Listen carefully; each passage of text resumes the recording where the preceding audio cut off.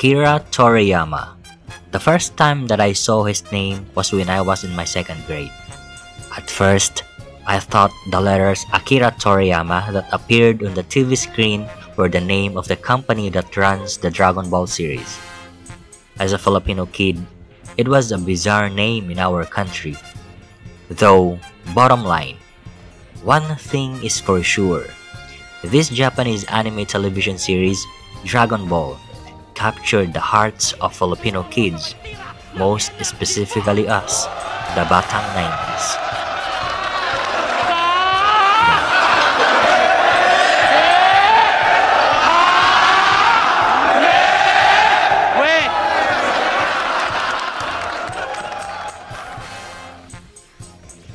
I made this video tribute to Akira Toriyama, embodied my message to him and to other manga writers who helped me to become the person I am today.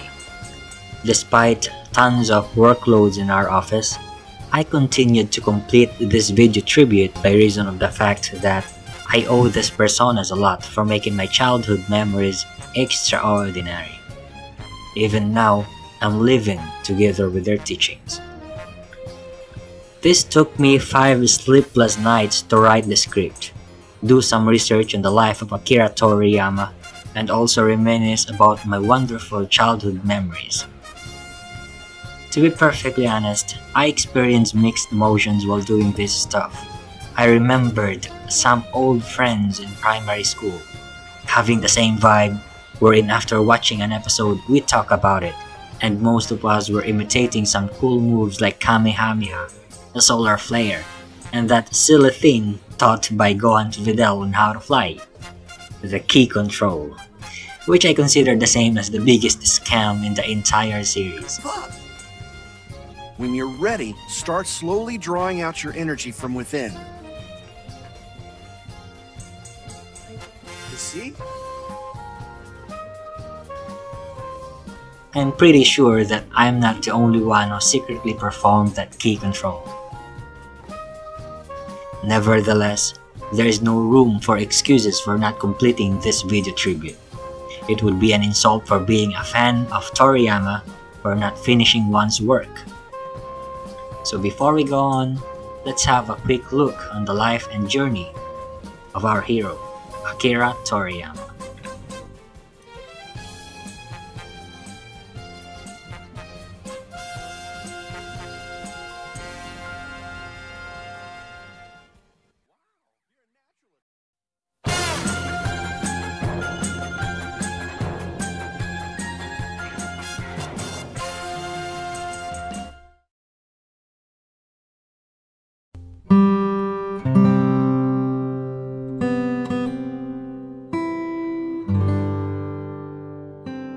Akira Toriyama is a Japanese manga writer, manga artist, and a character designer for video games. He has been a working artist since 1978. In manga, he is better known for creating the science fiction comedy series Dr. Slump and the martial arts theme series Dragon Ball. As a video game designer, Toriyama is primarily known for co-creating the long-running series Dragon Quest. Toriyama's works are credited with boosting the popularity of Japanese animation in the Western world. In 2019, Toriyama was named as a Chevalier or Knight of the Ordre des Arts et des Lettres, Order of the Arts and the Letters by France. It is a French order of merit awarded to writers and artists. During his elementary school years, Toriyama had access to the manga collection owned by the older brother of a friend. He was fascinated by the science fiction series Astro Boy, which featured the adventure of a sentient android with superpowers. Toriyama attended a high school that focused on teaching creative design to its students. Against the wishes of his parents, he decided to not pursue a college education. Shortly after graduating high school, Toriyama used his art skills to get hired at an advertising agency in Nagoya. He spent several years designing posters but was increasingly fed up with his job. He was repeatedly reprimanded for dressing casually at work. He quit his job at age 23 and started considering a professional career as a manga artist. Toriyama's first published work was the story Wonder Island. It featured a kamikaze pilot who had been stranded on an island for 35 years and was trying to find a way to escape. Most of Toriyama's early stories failed to impress his readers. He had more success with Tomato the Cutesy Gumshoe, a story about a rookie detective. It was his first work featuring a female lead and was well liked by the readers. Toriyama decided to use a female lead in the next major effort, Dr. Slump. It focused on the Arale Norimaki, a sentient robot in the form of a little girl. The series also featured a cast of eccentric supporting characters. Among them was the shape-shifting superhero Suppaman, a parody version of Superman, who was depicted as a pompous buffoon. The series became one of the most popular manga of its era and received an animated adaptation. Kazuhiko Torishima, who is Toriyama's editor, noted that Toriyama enjoyed viewing kung fu films but had never used martial arts elements in his stories. He suggested that Toriyama should try creating a kung fu manga. Toriyama responded by creating the two-part story, The Dragon Boy. It depicted a young martial artist who escorts a princess on a return journey to her home country. The story was warmly received, and Toriyama would later incorporate aspects of this story in the Dragon Ball. In 1984, Toriyama finally concluded the Doctor Slump. He had to promise his editor and publisher that he would soon start work on replacement series. This new series was The Dragon Ball. Toriyama produced 519 chapters of the manga. The story focused on the life of martial artist Son Goku from childhood to adulthood and gradually introduced the character's wife and descendants. The series gained in popularity due to its large cast of colorful characters and its exciting use of combat scenes. Toriyama reportedly used Jackie Chan's films as the main inspiration for the fighting scenes. Despite of a busy working schedule due to a long-term commitment to Dragon Ball, Toriyama continued submitting one-shot stories for publication. In 1995, Toriyama decided to conclude the Dragon Ball manga with a low-key ending. Son Goku left the planet Earth to serve as a mentor to reincarnated former foe. Toriyama wanted to imply that the story would continue, though he had no actual intention to write a sequel at that point. When the animated series Dragon Ball GT was conceived as a sequel, Toriyama was hired as a character designer. In 2009, Toriyama was credited as both a creative consultant and an executive producer for the live-action film Dragon Ball Evolution. Also, in 2009, Toriyama created a promotional manga for the environmental organization Rural Society Project. In 2011, Toriyama helped raise awareness for the victims of the Tohoku earthquake and the subsequent tsunami. From 2012 to 2013, Toriyama was part of the film crew for the animated feature film Dragon Ball Z Battle of Gods. It was the first theatrical animated film based on Dragon Ball since 1996. In the film, the deity named Beerus threatens to destroy the planet Earth. Toriyama served as the main screenwriter for the animated film Dragon Ball Z Resurrection. The film featured the resurrection of the long-dead villain Frieza, who tries to improve his skills before seeking revenge. Toriyama continued to work on the film's sequel until 2022. By 2022, Toriyama was 67 years old. He has been married to the retired manga artist Yoshimi Kato since 1982, and they have two adult children. He works from his home studio in Kiyosu, and reportedly lives a reclusive life.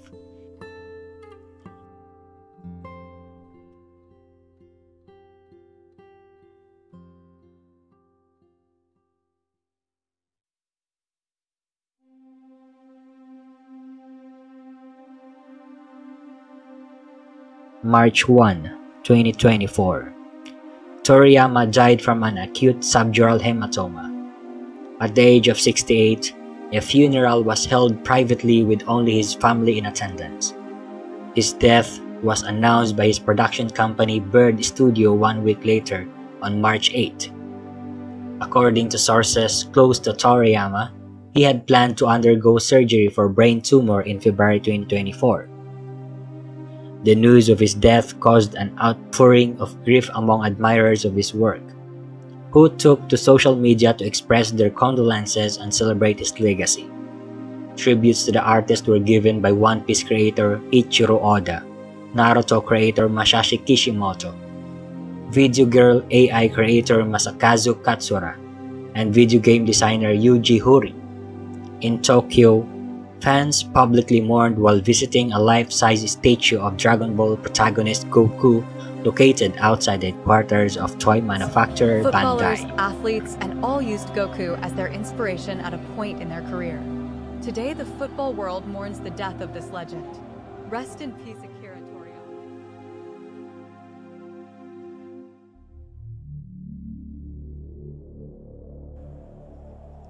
Contrary to popular belief, anime isn't just for kids, especially Toriyama's work.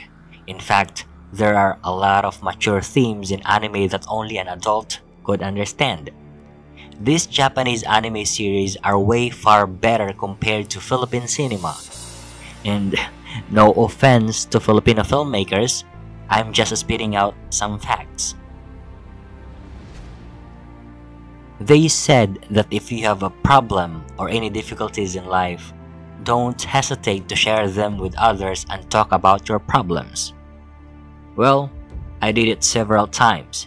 However, that piece of advice doesn't apply to me because in my case, I'm an extroverted introvert person.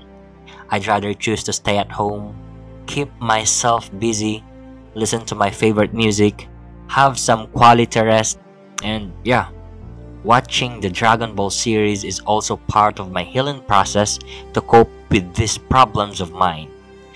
Truthfully, during my college years, whenever I feel down, all I gotta do is grab a penny from my pocket, go to the computer shop, rent for a couple of hours, and watch some Dragon Ball series in countless times. I don't care if I've watched that episode over and over again, even a hundred times, as long as it gives me a lot of motivation. Those are the little things that I did to escape from reality, even if it was just a short period of time. That's how the Dragon Ball series impacted my life. That's how Akira Toriyama profoundly changed my life. There is also one anime that motivates me to do better. A character from the Naruto series named Rock Lee. He had this motto, which is very simple yet requires discipline. To be stronger than yesterday. Ang maging malakas kaysa kahapon. It is very simple. Don't let a single day pass without learning or doing something that can help for your development or growth as a human person. A day without learning or improving oneself is a day that is wasted. This is one of the reasons why I took a double major degree, took some short courses, and had several postgraduate degrees. I opened myself to different possibilities on what road should be taken that can improve my life. I grabbed every single opportunity that knocked on my door. I imprinted in my mind that the average lifespan of a person is just around 70 years, and that 70 years in the long run is just a split of a second compared to the time spent in the entire history of mankind. Iisa lang ang buhay ng tao. Di tayo sigurado kung mayroong reinkarnasyon o pagkabuhay muli. Kaya habang nabuhay tayo sa mundong ito, gawin mo lang mga bagay na gusto mo na may gabay ng Diyos. Gawin mo mga bagay na sa tingin mo makakatulong sa iyo at sa ibang tao. There is no room for excuses and quitting is not an option.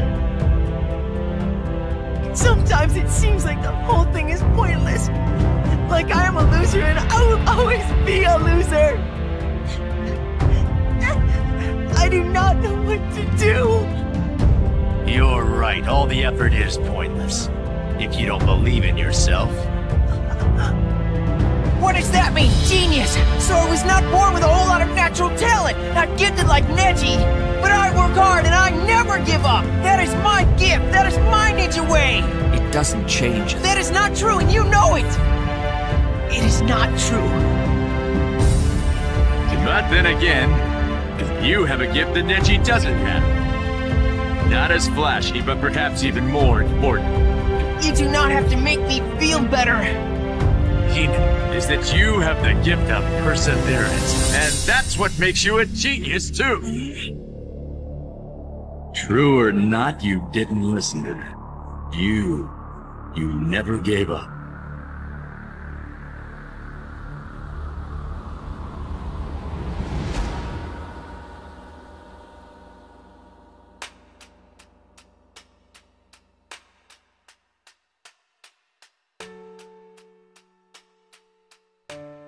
Going back to the Dragon Ball series, there is also a character in the said anime that I looked up to.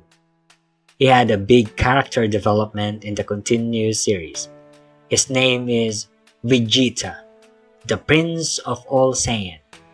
I truly admired how Toriyama sensei created this character. Vegeta's pride was mostly fueled by his own ego and arrogance. He assumed because he was assigned royalty that a low-class warrior like Kakarot could never defeat him. However, when Kakarot or Goku reached Super Saiyan, he wasn't going to settle for second best. Despite how hard he was training, Goku was still able to surpass him nonetheless. So he thought if he could go back to his roots, it would make him more powerful. Coming from a ruthless origin, a villain having his pride being a prince of all Saiyan, getting bullied by his enemies in general. Then, he met a strong earthling woman who could handle his ego, became a father, raised a child in a Saiyan way. Think about the next threat in a year or five or ten, or think about your pride. If Saiyan blood flows in your veins, if you're my son as you claim, then I won't tolerate you losing to anyone. You'll be the best, or you'll be nothing. Time after time, his heart became soft due to the fact that he learned how to love and to be loved.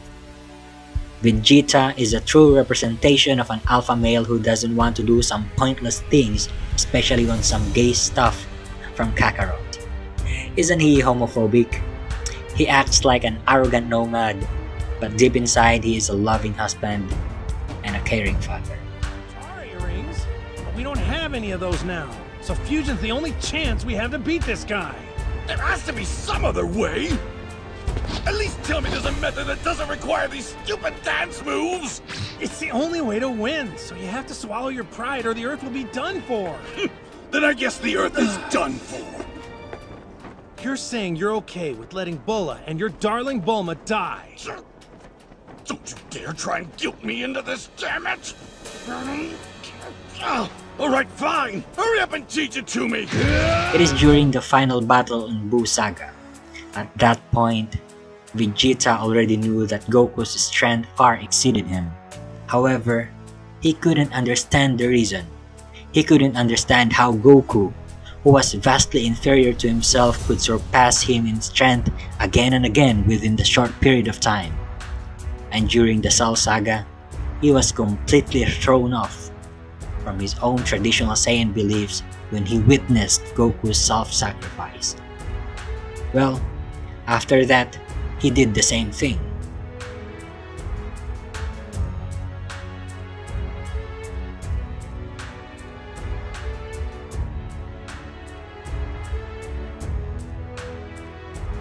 Goku's perseverance is on a whole other level. Even when he was drained of his strength just forcing his body to bring out enough strength to keep fighting against Buu. When Goku saved his life this time around, he finally understood Goku's motivation and why he kept growing in strength, leaving him far behind. It was simply the desire to outgrow himself. Not for the sake of fighting others, not for the sake of being the hero, at the same time, Goku also kept holding onto his humanity, which was a trait long forgotten among the Saiyans. When Vegeta finally understood this, he finally accepted that Goku was truly superior to his current self. That also showed Vegeta the way he could finally evolve into a truly strong being. That enlightenment during the final battle in Buu Saga caused Vegeta to acknowledge Goku's superiority.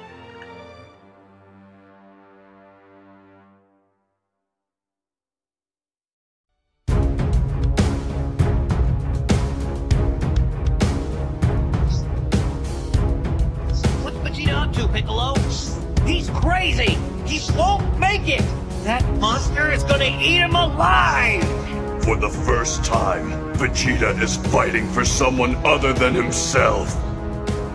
Controlling his own fate.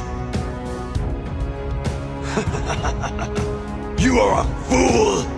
I'm going to crush you and throw you into the wind! Trunks, Bulma, I do this for you.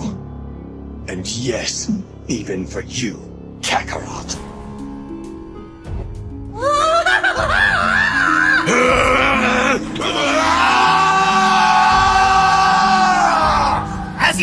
his mind or what? It's too much! He could die!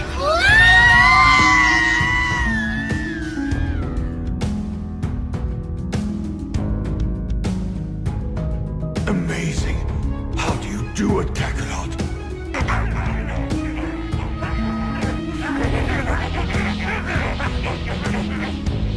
You've always been like this. Ever since the day I first met you. Always ready to meet the next challenge, even if it's bigger than you are.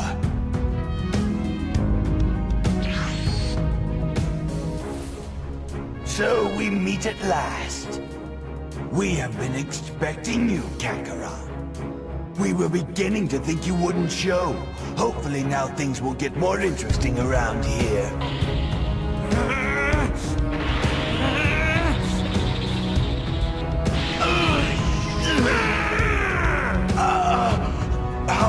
Be happening? I am a super elite, the prince of all Saiyans. It was the same on Namek. You had improved so much that it made Raccoon look like he was standing still. Your power had increased so dramatically since our battle on Earth that I thought you had done it. I thought that you had become a Super Saiyan. It tore me apart. How could a low-class soldier accomplish so easily what I, I had struggled my whole life to achieve?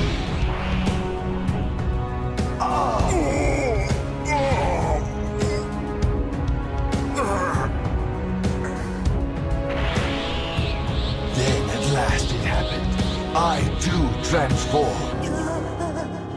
After living every moment of every day for the singular purpose of surpassing you, finally became a Super Saiyan myself.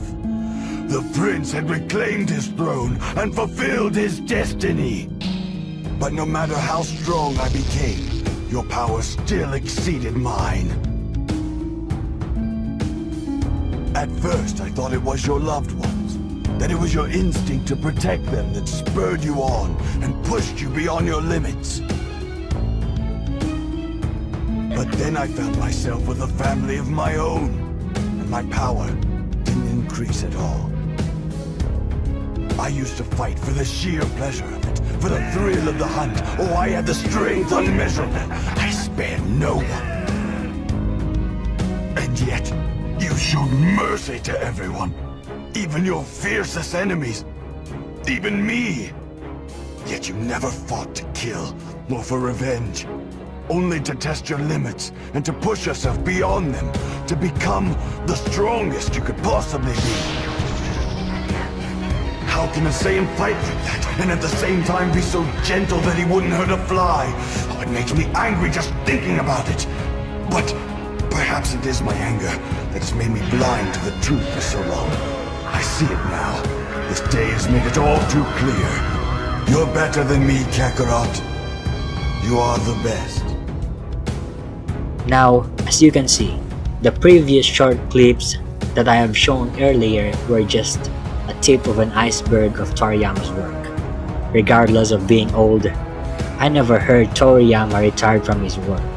Even in his last breath, he never failed us. Maybe some of you will find this video tribute as an exaggerated matter. Well, it's up to you guys. I created this video tribute not for any hype or for views. I'm just a small YouTuber here in the Philippines. It's just like, this is the only way that I know to say thank you to the person who made my childhood memories extraordinary. So in my turn, I would like to express my heartfelt gratitude to you, Sensei. Saying thank you isn't enough. I will never forget the lessons you have taught, the importance of perseverance. Dragon Ball made us believe in ourselves. It isn't just an anime, it is a journey of growth, friendship, and of endless possibilities. My heart literally dropped when I saw the news on social media that you have passed away. But don't worry, Sensei. If you want to be resurrected, just contact us through fortune teller Baba. We are here together with the Z Fighters, willing to search for the Dragon Balls. We already got the Dragon Ball radar from the Capsule Company. We can immediately summon Shenlong for your resurrection. Though, in my opinion, maybe you should take a rest, Sensei. Just make a quality time. Sit and relax up there together with King Kai. We are already satisfied with your work, Sensei. Your brilliance inspired many souls to continue for incredible work. Just leave it to your students, Sensei. We still have Masashi Kishimoto, Eiichiro Oda, Yoshihiro Togashi, and many manga artists that will continue your legacy.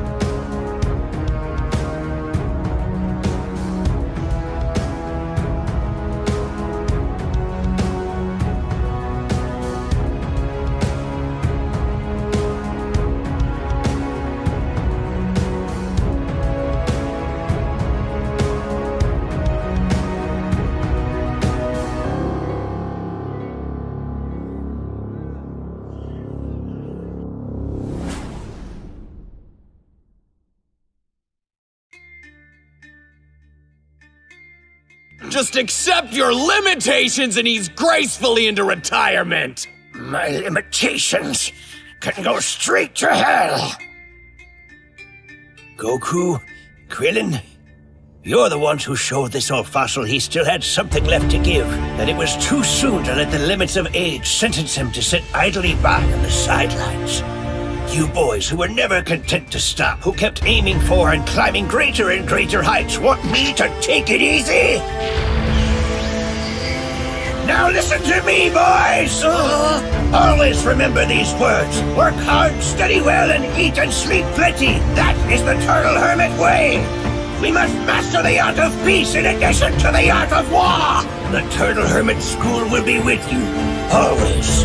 This will be my greatest, most powerful hobby, hobby!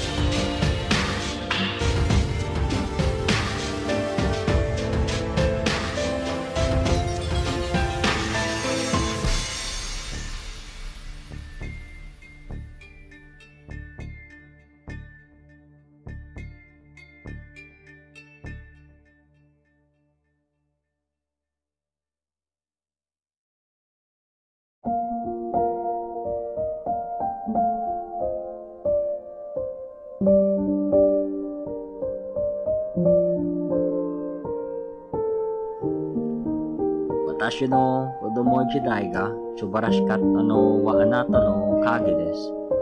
ありがとう、先生。